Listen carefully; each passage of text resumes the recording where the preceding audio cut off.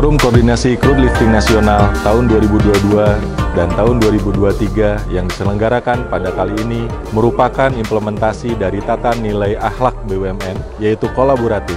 di mana seluruh insan oil and gas di Indonesia dalam crude lifting nasional berkolaborasi, berkomunikasi, dan berkoordinasi untuk dapat mencapai target crude lifting nasional 100% dengan menggunakan kapal-kapal berbendera Indonesia, diawaki oleh seluruh kru Indonesia, dan juga dimiliki oleh seluruh perusahaan-perusahaan pelayaran nasional Indonesia. Ke depan targetnya adalah crude ekspor kita yang berasal dari Indonesia dapat juga diangkut oleh kapal-kapal berbendera Indonesia sehingga kita dapat meningkatkan TKDN dalam negeri dan juga dapat mendukung dan mensupport berkembangnya perekonomian nasional Indonesia. Eh, kami mengapresiasi ya eh, kerjasama yang sudah dilakukan selama ini, bagaimana teman-teman dari Pertamina International Shipping dapat mendukung dari sisi penyediaan kapal untuk memastikan